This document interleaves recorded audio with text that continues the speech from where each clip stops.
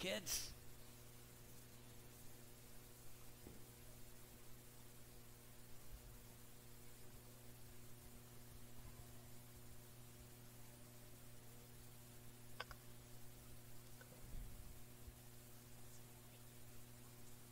Good morning. How are we? Really good? Okay. So the kids want to tell you about clack. So what is clack? Kids learning about Christ. Kids learning about Christ. And we meet once a month on the third Wednesday downstairs in the basement, right? And most all of, well, I think all of these kids that you see up here come on Wednesday nights. And we have fun, don't we? We sing, we dance, we learn about Christ, and they have worked on a special memory verse, and they want to share it with you this morning, okay? Are you ready? Okay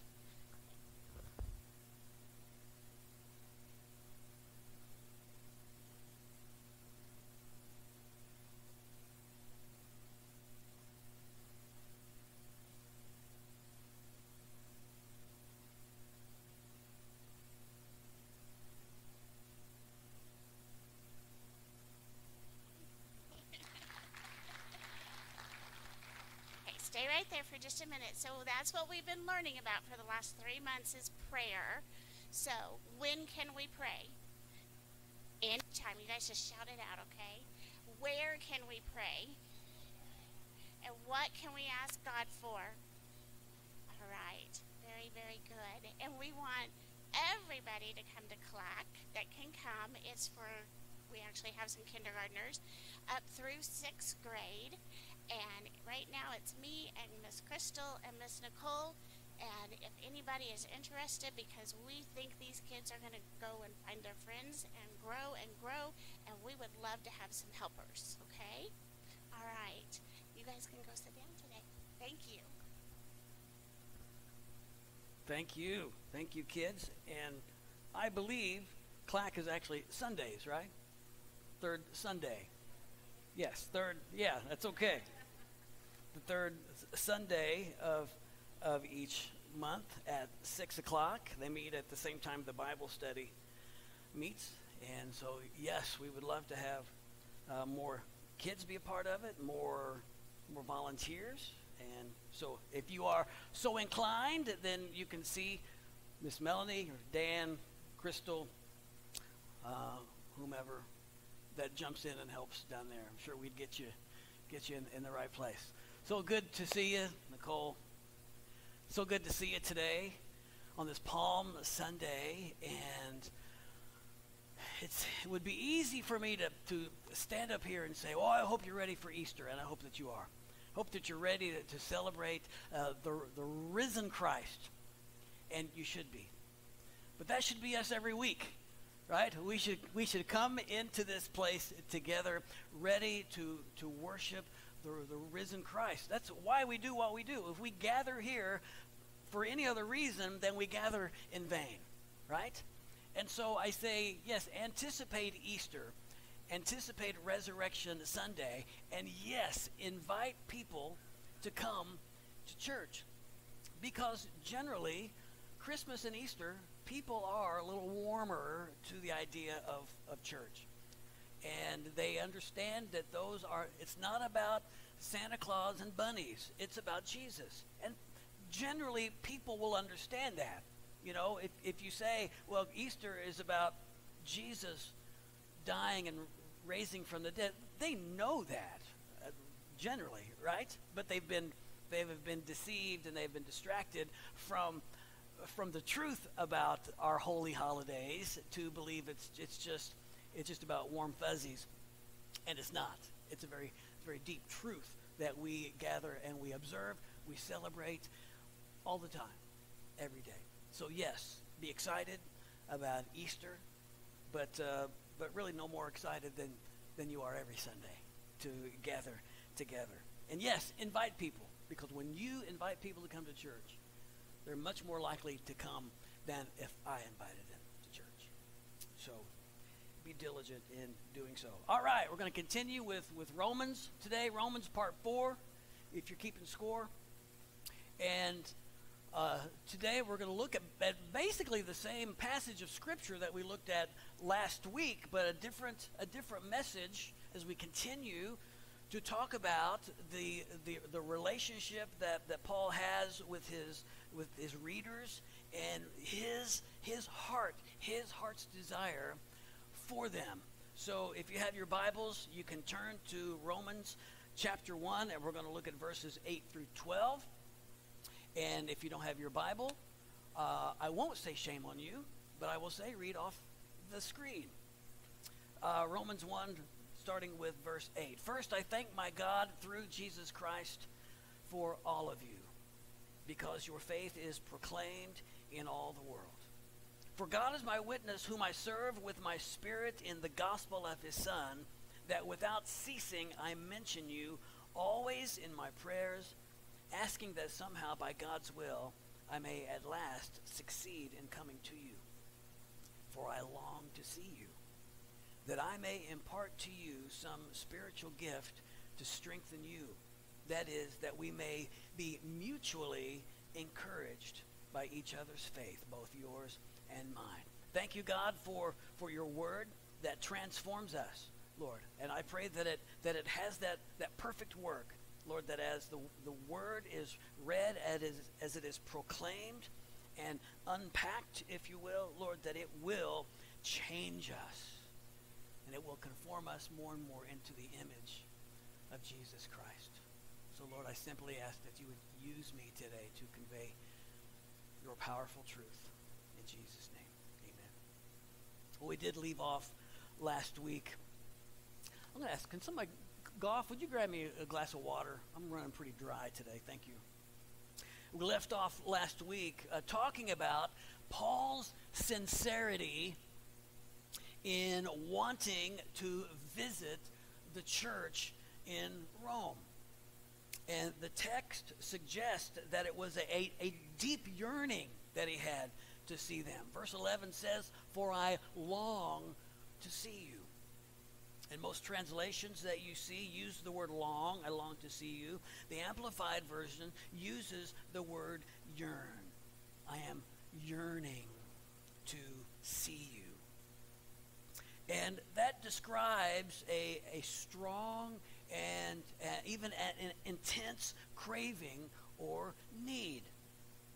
So this desire or this, this longing that Paul has, that he expresses, is not the same uh, expression that we might use when we when we see each other. Hey, it's good to see you. We'll see you next time, or we'll see you next week.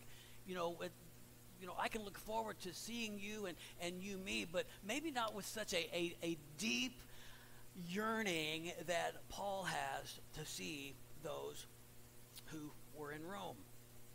And it's, it's, in, it's very intentional. His desire to see them is it's a deep, sincere desire. Thank you,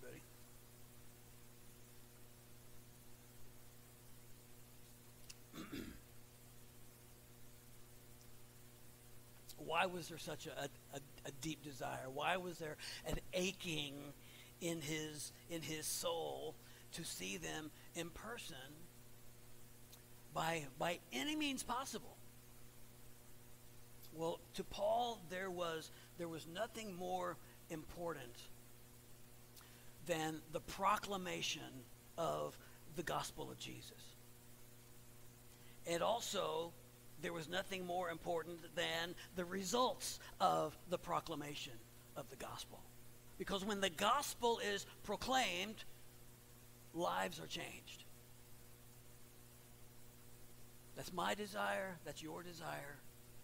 That was Paul's desire. And he gave his, his every ounce, many times within an inch of his life to proclaim the gospel and to see to see all people everywhere come to Christ. Romans 1 15 and 16, he says, So I am eager to preach the gospel to you who are in Rome. For I am not ashamed of the gospel, for it is the power of God for salvation to everyone who believes. In 1 Corinthians 1 23, he says, But we preach Christ crucified. That's his message.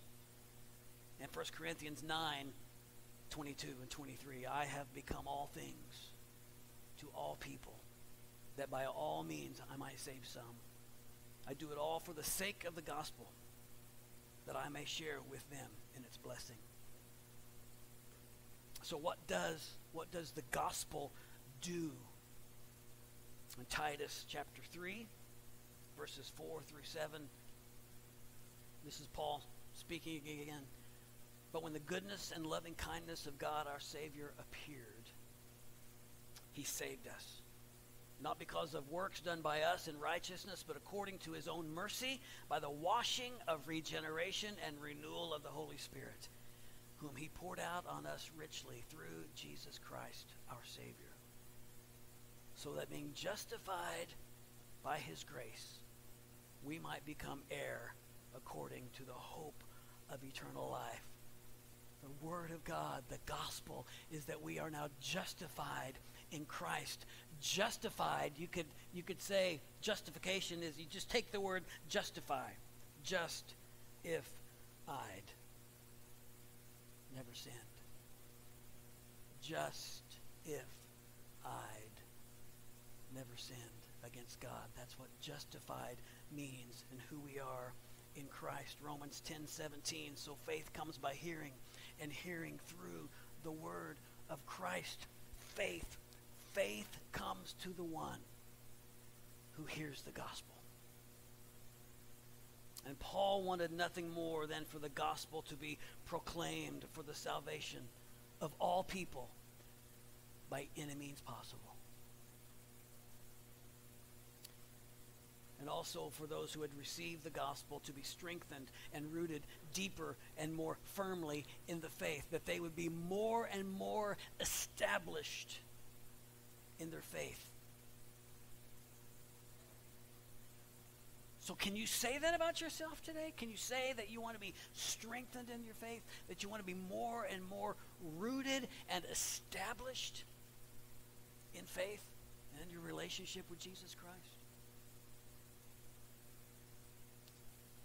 So I long to see you, he says. He says there's, there's an urgency in me to see you in person, that I may impart to you some spiritual gift to strengthen you. And it's important for us to understand here that the spiritual gift that Paul talks about, the gift that he wants to impart to others, it's not the it's not the the gift that comes from the, the laying on of hands that he did for Timothy, right? You look at first second Timothy chapter 1 verse 6 he says to Timothy I remind you to fan into flame the gift of God which is in you through the laying on of my hands or when we would lay hands on somebody and to pray to pray for for healing when we would lay hands on somebody in sending them out, right? To do to do ministry or whatever the case may be, we, we lay hands on as a as a blessing to send. That's not the, the gift that Paul speaks of in Romans 1:11. That the gift, the spiritual gift that he desires to impart and to share with them is the sweet gift of fellowship and encouragement. We need that. We all need that, that gift of, of encouragement.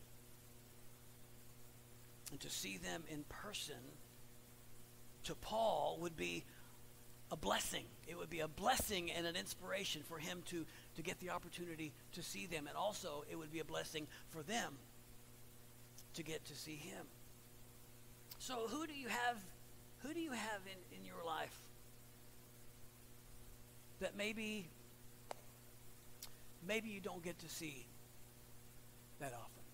Whether it's whether it's a family member that lives in another place in the country. And when you think of them, when you think of them, your heart yearns. You have somebody like that in your life?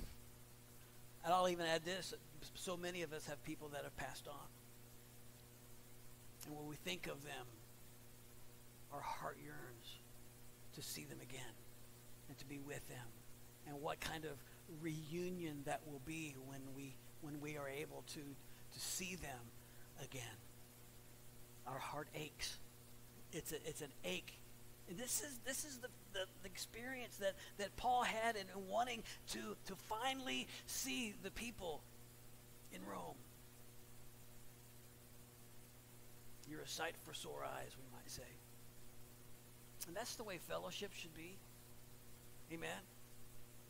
That's the way fellowship should be. You know, you may or you may not receive a blessing when you see me and hear me preach. But I can tell you that I, I can hardly wait to get here on Sunday to see you. It's such a blessing. It's such a blessing for me to, because see, I can stand here and I can see all y'all. Uh, in, in, in, uh, in a brief moment, I can see y'all when I'm down, down there worshiping, I can't. You know, I'd, I'd love to be able to turn around just and just watch y'all worship. You know, but it's such a blessing to see you and to know that you are my friend, and and that and that you trust me. You trust me with the gospel, and that you trust me in leading this church. And it takes a lot of help. I can tell you that. It takes a lot of help. but I'm strengthened. I'm strengthened and I'm blessed to have you in my life. We get to we get to eat together. It's great that's great fellowship right there. We get to study God's word together.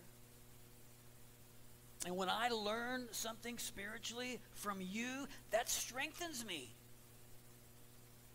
Recently during during some of our Sunday night Bible studies that that we have, oh, we have some very challenging and insightful conversations, don't we? We have some great conversations that can challenge us.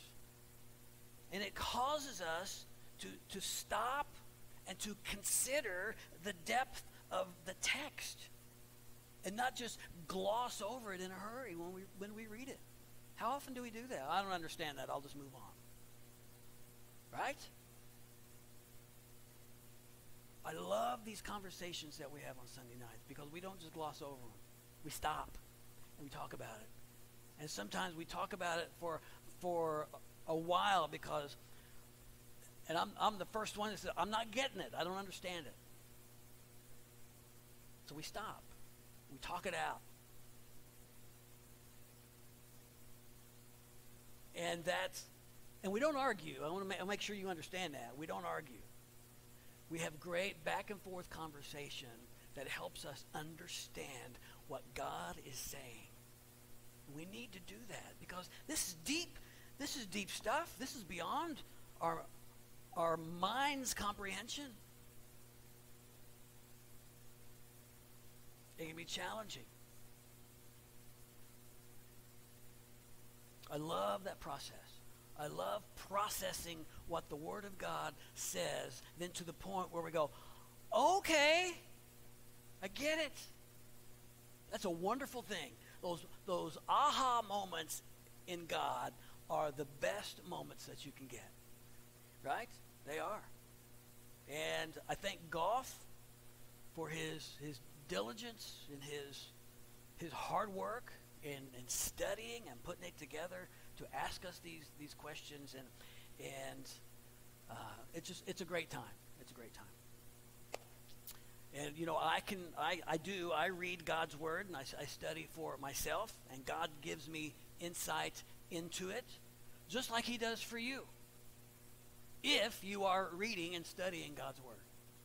If you're not reading it, you're not studying it, you can't expect insight because it takes diligence and it takes practice and it takes it takes um, that's the word I'm looking for. Smart people. Perseverance. That's the word I'm looking for. Thank you. Perseverance. Pressing in. To be rooted and established and strengthened in our our faith. And Paul's desire Paul's desire was to see the church in Rome in person. He wanted to impart the wisdom of God that he had received. He wanted to impart it to them for their benefit. but he also longed to be encouraged himself through what God was doing in them. So, as your pastor, I'll ask you a few probing questions. What are you passionate about? What are you living for? What are you eager to do? Simple questions. Are you wasting your time? Are you wasting your life on things that don't matter? Or do you do you long to invest in others so that they will know Jesus? Gut check time. Right? Two two things will last forever. Two things. You know what they are? One of them is God's Word, and the other is people. Everything else will fade away. Isaiah 40, verse 8 the grass withers, the flower fades, but the Word of our God will stand forever. The Word of God. And I know that you know that everyone, everyone who has ever existed will, will live in eternity. Heaven for those who repent and call on Jesus, and hell for those who reject Jesus. But everyone will exist for eternity. So, what are you doing in your life to focus on what matters most? Are you attempting to know and understand God's Word better so that your relationship with others is beneficial to them? And that they also are a spiritual benefit to you? Or not? And it starts at home. Amen? It starts at home. But it, it should also carry over into work and into play as well. We talk about the unity that we possess here at First Baptist Church. What a beautiful thing it is. We possess it. We, we continue to, to pray for it. We protect it. Our unity is fed by our commonality in Jesus. We are servants of the same master. And we serve together in his kingdom. And by virtue of that, you should be more deeply rooted in faith. You should be encouraged to see me and hear me. And vice versa. My spiritual life should be enriched by time spent with you. And it is. And when we we guys hang out, I love it when we guys hang out. There's nothing like guys hanging out. Ladies, you're not invited. Do you want us at your meetings? No. Don't want us at your meetings. and you know when when we guys get together, it's not always an overtly spiritual encounter. Sometimes it's guns and grub. But in that in that commonality, we experience the building of relationships. And the more time we spend together, the topics of discussion usually turn spiritual. Our guards come down because, you know, guys get together we got to spend the first however however long, you know, shooting guns or whatever. I really don't do that. Got, you know me well enough that I don't own a gun. But they let me shoot them, and they all scatter. Pastor's got a gun.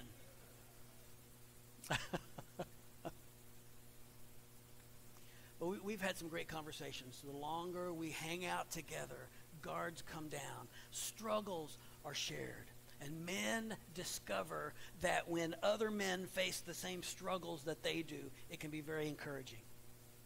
Not alone in your struggle. And that's powerful. To discover that others go through the same thing, we need to hear that. And something something great happens. That each one of us wants the other guys to be strengthened in their faith. Each one wants the other one to be more deeply rooted in Scripture and in faith. Amen, guys? We all need to learn how to love our wives better. Not more. I didn't say love love you more. But we need to learn how to love our wives better.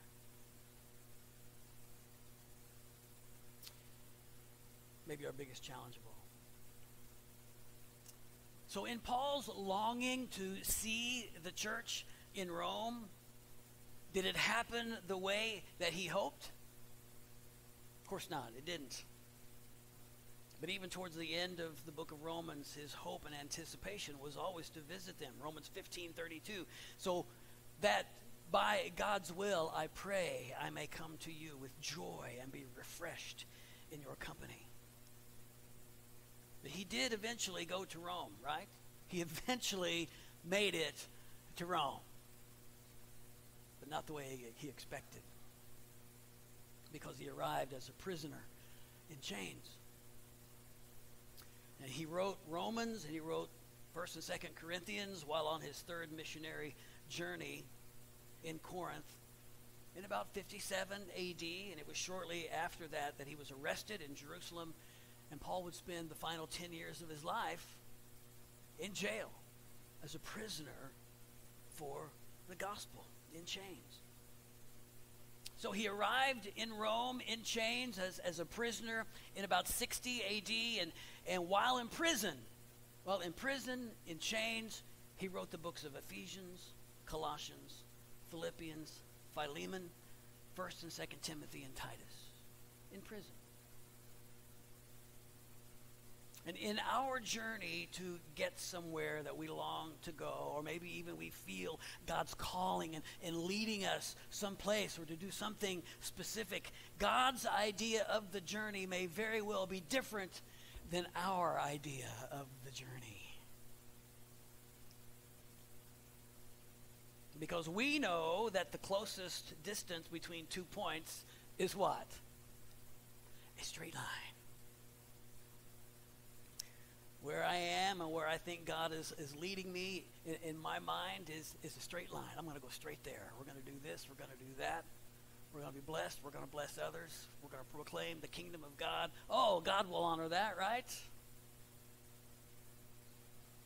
No bumps, no detours along the way. And the quicker the better. Come on, God. Get on get on this ride with me. You've probably heard it said if you want to make God laugh, just tell him your plans. Proverbs 16:9 says, "The heart of a man plans his way, but the Lord establishes his steps." Yes.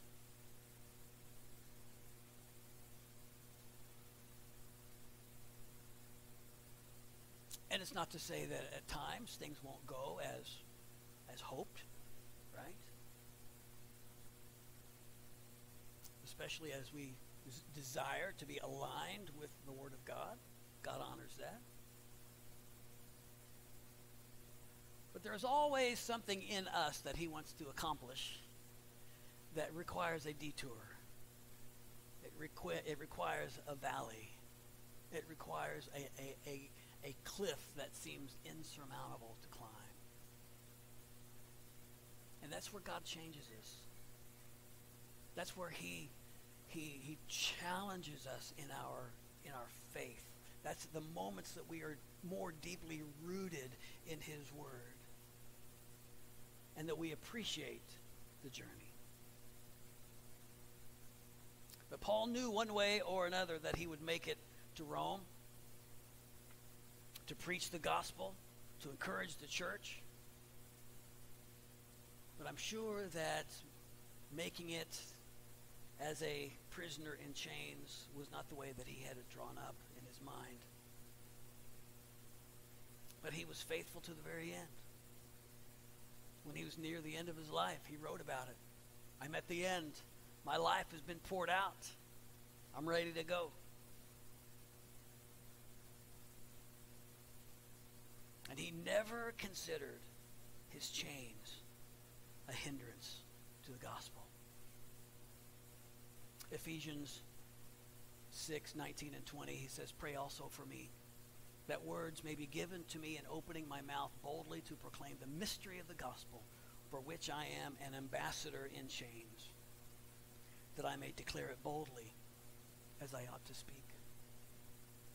In 2 Timothy 2 8 and 9, he tells Timothy, Remember Jesus Christ, risen from the dead, the offspring of David, as preached in my gospel, for which I am suffering, bound with chains as a criminal, but the word of God is not bound. So let's not let a, a hindrance derail us in our mission to share the gospel. Don't let a, a, a hindrance derail us from being an, an encouragement to someone else. But in your life, use, use the hindrance. Instead of woe is me, use the hindrance as a testimony of God's goodness and his faithfulness.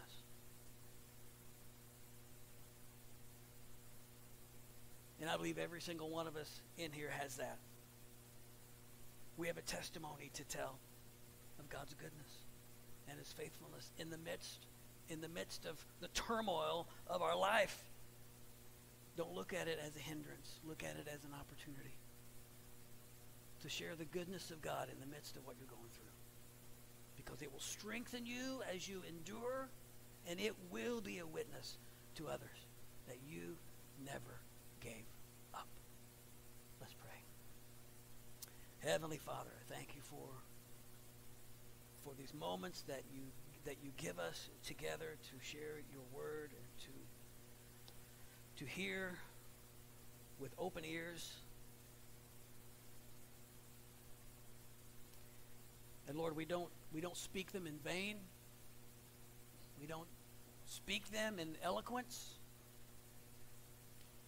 They are spoken as ordained by you for your glory to witness the glory of God in Jesus Christ. Lord, that we would we would take these these words and we would chew on them as we do a good meal. And and uh, Lord, we don't just put food in our mouth and swallow it, we chew on it. We we we enjoy we savor the flavor. And Lord, I pray that the Word of God is the same way. We listen, we hear it, and we savor it. We savor the Word to understand it. And Lord, I pray that it changes each one of us. Thank you, Lord. Thank you for your goodness, for your great love for us that was shown through the death, burial, and, and ultimately the resurrection of Jesus Christ from the dead. Thank you, Lord. Thank you, dear God. And Lord, I pray that the Holy Spirit would have this complete way during this time. As we are nudged and as we are drawn, as we are reminded, dear Lord, we will know that is you, that is you knocking. And Lord, I pray that we respond with, Yes, Lord. Here I am, Lord, to do your will. Let us not only hear, let us also pay attention and to do that which you ask us to do. In Jesus' name, amen. Amen. Would you stand?